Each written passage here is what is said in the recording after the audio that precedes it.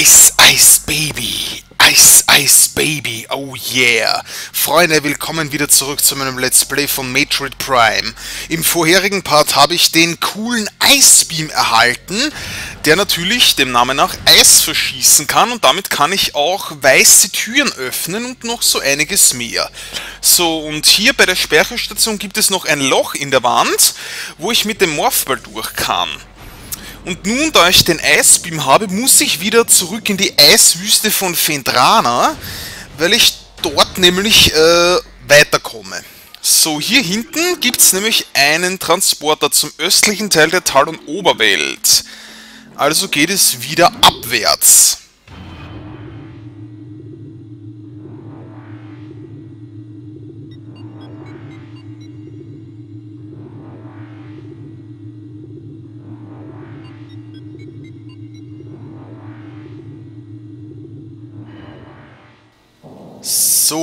Gibt es auch schon mal eine weiße Tür, die ich jetzt schön öffnen kann. Und diese, gut, diese Viecher kann man auch mit dem Eisbeam nicht töten, aber wenigstens mit Missiles. So. Jetzt bin ich wieder... Ja, genau, ich bin jetzt in einem etwas neuen Bereich der Talon-Oberwelt. Aber eigentlich... Ah ja, seht mal, hier hätten wir schon mal einen weiteren Missilcontainer. Jawoll. Wunderbar. Aua, Giftgras, das tut weh. Aber egal. So, jetzt habe ich schon 65 Missiles und seht mal, wo ich jetzt wieder bin. Ich bin wieder bei der Absturzstelle der Fregatte. Allerdings bin ich jetzt hier ziemlich hoch oben rausgekommen. Ja, und auch wenn es da unten noch eine weiße Tür gibt, in die Fregatte rein könnte ich zwar, aber ich könnte dann da drin trotzdem nicht weiterkommen weil meine Ausrüstung dafür immer noch nicht ganz geeignet ist. So, und ihr seht schon, man kann die Luftpiraten ganz einfach mit einem aufgeladenen Eisbeamschuss einfrieren und mit einem Missiltreffer kann man die dann sofort vernichten. So. Okay, sie sind natürlich immer noch ziemlich schwer zu treffen. Kommst du her? Ah, oder leck mich doch. So, egal. So, ich lande sowieso im Wasser. Kann eh nichts machen. So. Ich will einfach nur noch hier raus. So, ich gehe ganz einfach. Du kannst mich mal, du blöder Luftpirat, du kannst mich mal. So. Genau, jetzt bin ich wieder beim Landeplatz. Also kurz davor. So, genau hier. Hier ist wieder der Platz, wo ich angekommen bin. Und hier ist auch mein Kampfschiff. So, aber ich... Ich werde zwar reingehen, um meine Munition aufzufüllen, aber trotzdem einmal nicht speichern, weil der Party erst angefangen hat. So, also speichern nein, aber Energie- und Munitionsvorrat werden trotzdem vollständig aufgefüllt. So. Und jetzt muss ich halt wieder den ganzen Weg zurück zur Eiswüste von Fendrana gehen. Transporter zu den westlichen Schatzsuchen? Nein. Genau, Transporter zu den östlichen Höhlen von Magma und dann zur Eiswüste von Fendrana. Ja, und Leute, wisst ihr was? Um ein bisschen Zeit zu sparen und da ihr den Weg ja eigentlich auch schon kennt, werde ich jetzt mal kurz schneiden und wir sehen uns dann wieder in dem Bereich der Eiswüste von Fendrana wieder, wo es dann zu diesem riesigen Quarantänebereich geht, wo ich gegen Tardus gekämpft habe. Also bitte dranbleiben, wir sehen uns dann gleich wieder. So, und da bin ich auch schon wieder. Hier im Ruinenhof der Eiswüste von Fendrana. Ich habe mir echt gedacht, dass ich das lieber schneide und das war auch gut so, weil das kostet meiner Meinung nach einfach viel zu viel Zeit. So, und oh mein Gott, hier ist schon wieder seine gottverdammte Wachdrohne. Die muss man erstmal vernichten. So, da ist noch eine zweite. Zack. Am besten mit dem Wavebeam und kaputt. So. Gut. Also wie gesagt, es ist auf meinem Weg hierher auch nichts Nennenswertes passiert. Ich hatte nur leichtes Spiel mit diesen Magmor-Feuerschlangen, weil die sind ja wirklich sehr empfindlich gegenüber dem Eisbeam. Und es waren halt noch ein paar Luftpiraten in der Überwachungsstation, aber sonst war jetzt eigentlich nichts Nennenswertes. So, hier bin ich jetzt wieder im riesigen Quarantänebereich und seht mal, dort schläft ein echter großer, ausgewachsener Eisgigant im Schnee. Das war früher mal ein Zwischenboss hier, der den Wavebeam bewacht hat, wenn ihr euch zurückerinnern könnt. Aber ich schleiche mich jetzt lieber ganz vorsichtig an dem vorbei. Den will ich nämlich nicht aufwecken. Ich habe echt keine Lust, nochmal gegen so ein Riesenvieh zu kämpfen. Ich rolle jetzt hier einfach entlang und gehe wieder hier durch die violette Tür und dann bin ich auch gleich wieder da, wo ich eigentlich hin wollte. Also wo ich mal nicht weitergekommen bin. So. Jetzt noch hier vorbei. Aua. Mann, ey, ich hasse diese Dinger. Aber egal. So, hier. Transporter zu den südlichen Höhlen von Magmoor, das sehen wir. Es gibt hier eine weiße Tür und mit dem Eisbeam kann ich die ja jetzt endlich öffnen. Also ich rolle hier mit dem Spiderball hoch und öffne diese weiße Tür. Und dadurch komme ich zu einem komplett neuen Gebiet der Eiswüste von Fendrana. Ein Gebiet, was gar nicht mal auf der Karte eingezeichnet ist. Was zum... Stirb! So, ja, und seht mal hier, im Eis ist ein Energietank eingefroren, aber ich kann Eis leider immer noch nicht schmelzen. Da fehlt mir noch ein anderer Beam dafür, den finde ich aber erst wesentlich später im Spiel, also kann ich mit diesem Energietank leider noch nicht holen. Aber ihr habt schon gehört, die Hintergrundmusik hat sich geändert. Weil ich jetzt in einem ganz anderen Bereich der Eiswüste bin. Und dieser Bereich ist auch nochmal ziemlich groß. So, wo bin ich denn jetzt? Bei der Firnspitze. Und hier gibt es drei violette Türen. Und ich glaube, ich vergesse auch jedes Mal, welche Tür ich da nehmen muss. Aber ich glaube, das war die, ähm, die jetzt quasi so irgendwie unter mir ist. So, Moment mal, kann man die überhaupt schon sehen? Nein. So, Moment. Ich glaube, die hier. Wenn das stimmt. Nein! Wow. Nicht mal. Ne, die da. Die, glaube ich, war es. Also nicht die ganz unten, sondern eine darüber. Die hier. So, und... Ja, genau, hier muss ich weiter. So, hier geht es nur mit dem Morphball weiter. So, ein bisschen beschleunigen, dass das nicht so lange dauert. So. Eiskäfer sind mir egal, also diese vielen Käfer. Bäh, eklig. So, äh, Moment mal, ich brauche den Wave für die Tür. So. Und seht mal, wo mich dieser Weg jetzt hingeführt hat. In den Kristalldom.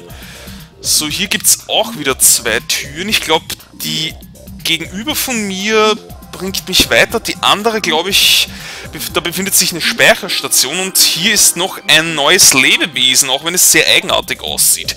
Typus Segelgleiter, harmlose fliegende Kreatur mit ungewöhnlichen magnetischen Eigenschaften. Also, wenn ich dann später mal den äh, Grapple Beam wiedergefunden habe, dann kann ich mich an diese Viecher dranhängen und kann mit ihrer Hilfe woanders hinkommen und seht mal, was da gerade aufgetaucht ist.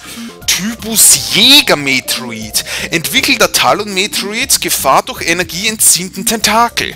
Im Laufe ihrer Entwicklung werden Talon-Metroids zu immer effizienteren Räubern. Ein Tentakelstrahl, welcher der Energieaufnahme dient, erlaubt ihnen in diesem Stadium einen Angriff aus der Entfernung. Die leicht reizbaren Jäger-Metroids stürzen sich auf ihre Beute und rammen sie so lange, bis sie ihren Angriffen erliegen. Auch bei dieser Metroid-Art zeigt der Einsatz von niedertemperierter Waffentechnik die besten Resultate. Ja, also mit dem Icebeam habe ich jetzt wenigstens leichtes Spiel mit den Metroids. Einfach einfrieren, ähm, wenn ich ihn dann treffen würde.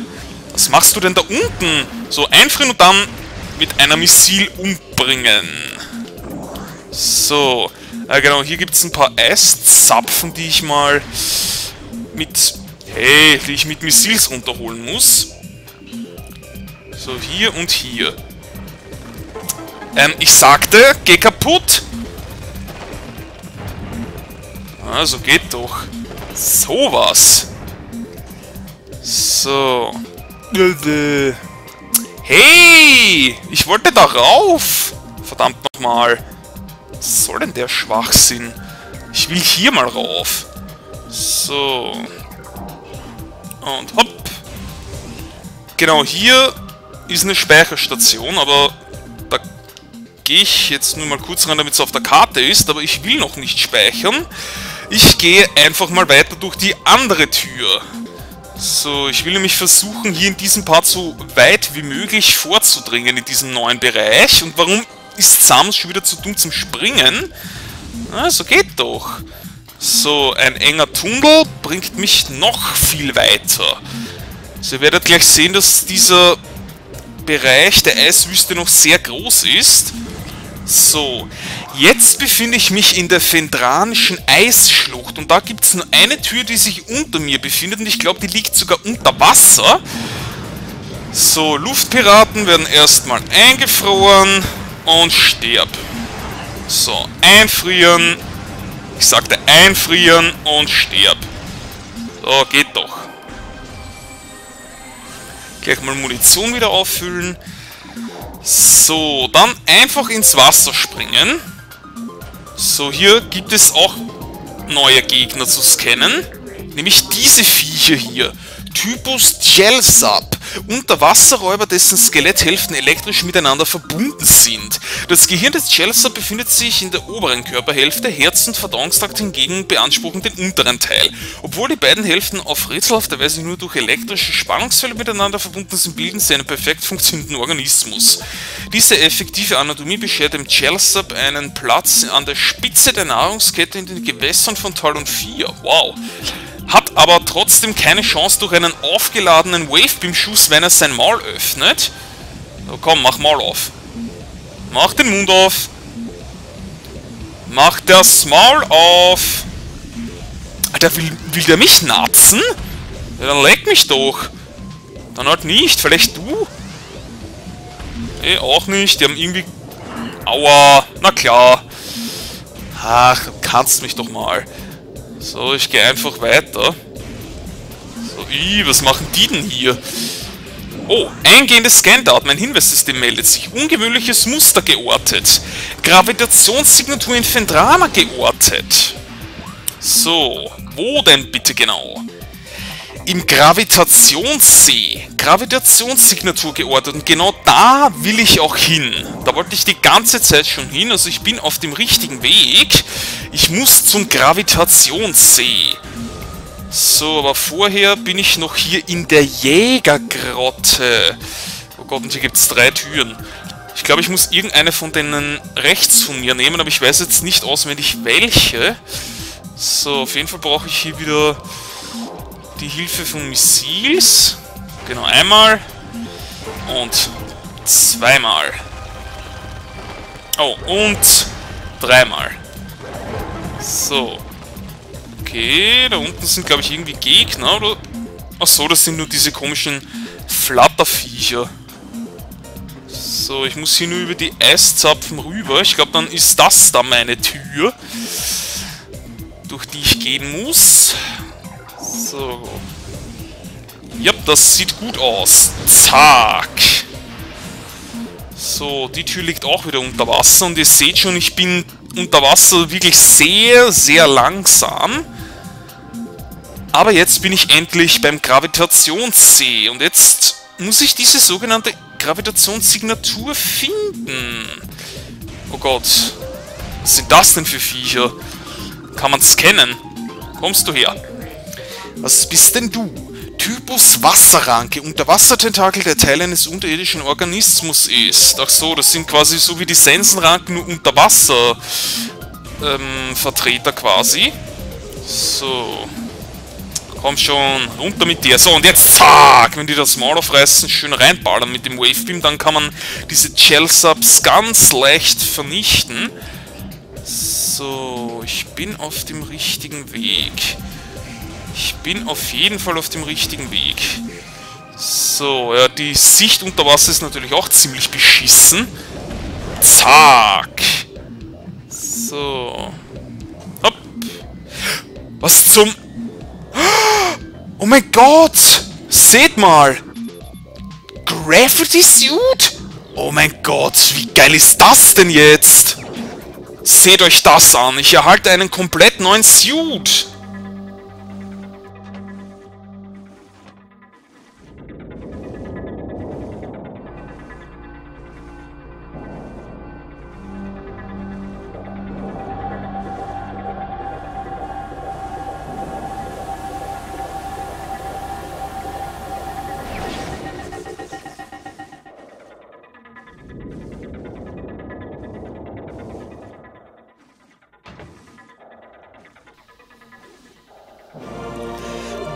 Gravity Suit erhalten.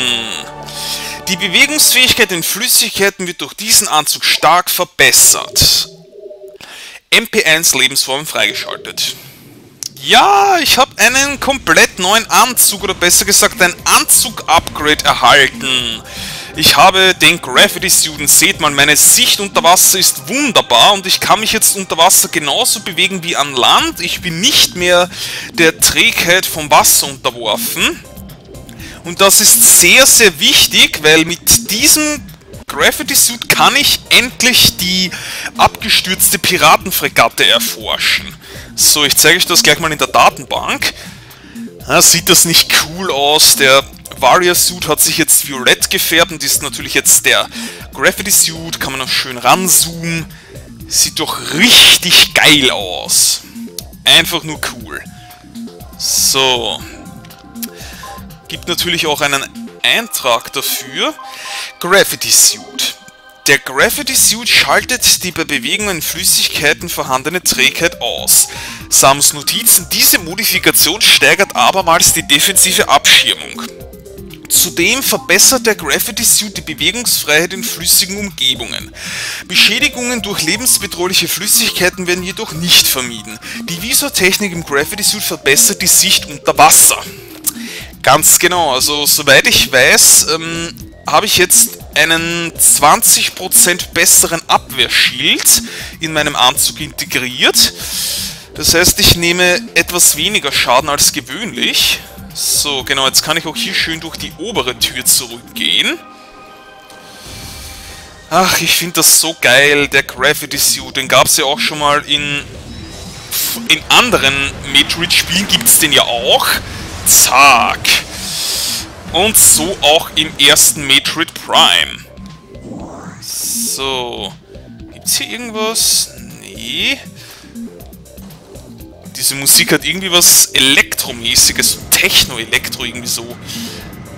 So. Oh mein Gott, was zum... Was, macht, was machen Luftpiraten hier? Was soll denn das? Die waren aber vorher nicht hier. Stirb. So, aua. Boah, gleich mal Todes-Kamikaze-Flug gemacht. Mann, ich will dich einfrieren, du Sack. Oh, stirb. Kommt davon. So. Moment mal, hier rechts gibt es noch eine Tür? Ah ja, stimmt. Was gibt's hier drin? Okay, Verbindungshöhle zur Jägergrotte. Da komme ich dann zur Vierenspitze? Moment mal. Ich will aber eigentlich in den Kristalldom. Ich möchte jetzt gerne mal speichern. Also ich gehe lieber zurück. Ich gehe zurück und gehe... Hä? Was zum... Ach so, ist wieder ganz, ganz umständlich. Na egal. Wird schon gehen. So, mit dem Space Jump geht das ja. So, ich möchte auf jeden Fall wieder zurück. Damit ich mal speichern kann. Aua. So. Ja, jetzt kann ich hier die Shell-Subs auch viel besser sehen, aber trotzdem gibt es irgendwie Visor-Probleme, wenn ich mich denen nähere. Mann, stirb doch mal. Warum? Oh, tot. So, aber Hauptsache, ich kann mich jetzt unter Wasser wunderschön fortbewegen. So. Sprünge unter Wasser sind somit überhaupt kein Problem mehr. Ja, genau, ihr schon wieder, ihr Hornochsen. Äh, ich bin ins Wasser gefallen, was soll das? Ich hasse Luftpiraten! Ich hasse überhaupt diese ganzen Piraten, die sind pottenhässlich! Ihr seid pottenhässlich, aber dafür könnt ihr bestimmt nichts. Ihr seid bestimmt schon so scheiße hässlich geboren worden. Ah, komm her. Ah, die weichen auch immer meinen Schüssen aus, diese... Mm. So, aber den Missiles können die nicht so leicht ausweichen. Stirb. Und kaputt. So. Das kommt davon, du Blödmann. So. Legt euch lieber nicht mit Samus Aran an. Die ist einfach zu tough für euch. So. Also wie gesagt, man hätte jetzt quasi auch über die Passage, ne Quatsch, über die Verbindungshöhle zur Jägergrotte hätte man auch wieder zurückgehen können zur vielen Spitze, aber ich will, wie gesagt, erstmal speichern. So. Ich glaube, in dieser Verbindungshöhle gab es sowieso nichts Interessantes. Oder irgendwie so. Weiß ich jetzt nicht mehr genau. So, und noch so ein gottverdammter Luftpirat. Stirb. Bist doof, also stirbst du. Ah, da ist ja noch einer. Ah. Haha. Edge Badge. So, her mit der Munition. So, die Tür war jetzt... Ja, genau, die war da drüben. Gut. So, ich glaube, irgendwas gab es da sogar zu scannen in der Speicherstation, aber ich glaube nichts, was mir einen Datenbankeintrag gibt. Einfach nur so Hinweise wieder. Was haben wir denn da?